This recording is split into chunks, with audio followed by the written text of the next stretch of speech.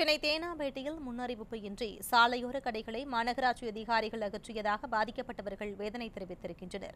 தேனாம்பேட்டை பகுதியில் மாநகராட்சி வழங்கிய உரிமத்தோடு பத்து ஆண்டுகளுக்கு மேலாக சாலையோர கடைகள் செயல்பட்டு வருகிறது. இந்த நிலையில் திடீரென மாநகராட்சி அதிகாரிகள் கடைகளை அகற்றிவிட்டதாக பாதிக்கப்பட்டவர்கள் குற்றம் சாட்டியிருக்கின்றனர். சாலையோர வியாபாரிகள் வாழ்வு மேம்பாட்டுக்காக கடந்த இரண்டாயிரத்து பதினான்காம் ஆண்டு மத்திய அரசும் இரண்டாயிரத்து பதினைந்தாம் ஆண்டு மாநில அரசும் அரசாணை வெளியிட்ட நிலையில் திடீரென கடைகளை அகற்றியது வேதனையளிப்பதாக பாதிக்கப்பட்டவர்கள் தெரிவித்தனர். கொரோனா பேரிடர் காலத்தில் முந்தைய அதிமுக ஆட்சியின் போது தெருவோர வியாபாரிகளுக்கு மாதம் ஆயிரம் ரூபாய் என மூன்று தவணையாக நிதியுதவி வழங்கியதாக வியாபாரிகள் சுட்டிக்காட்டியிருக்கின்றனர். தற்போதைய திமுக அரசு தங்களின் வாழ்வாதாரத்தை முடக்கிவிட்டதாக வேதனையும் தெரிவிக்கின்றனர்.